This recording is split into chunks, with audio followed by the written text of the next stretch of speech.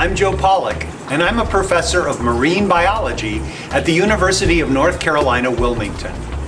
My research group studies the biology of sponges on coral reefs.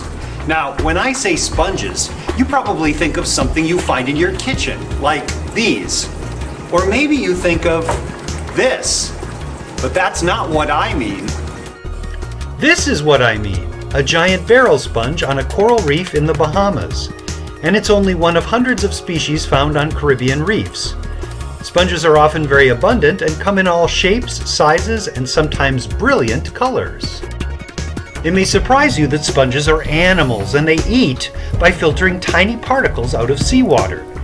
Here we've released some green dye next to a barrel sponge to show you how rapidly it can filter water through its body.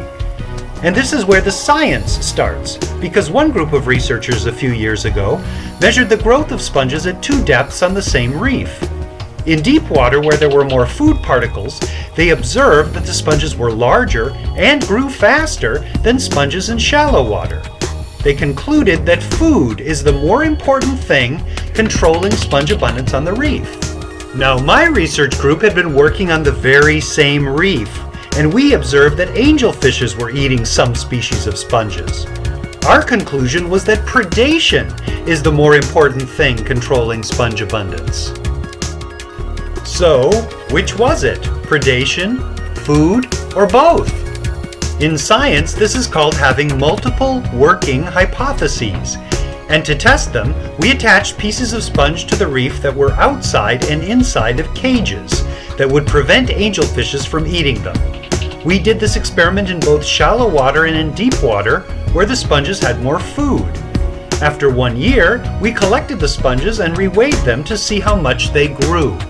Let's look at a bar graph that shows the percentage growth of the sponge pieces. You can see that when protected by cages from hungry angelfishes, sponge pieces grew a lot more than pieces that were not caged. So predation is important. But surprisingly, sponge pieces that were exposed to higher amounts of food did not grow faster. This means that there is already plenty of food in shallow water, and food is not an important factor affecting sponge abundance. This research is important in explaining why reefs that lack angelfishes because of overfishing have sponges that are overgrowing and killing their corals. So saving coral reefs also depends on saving fishes that eat sponges.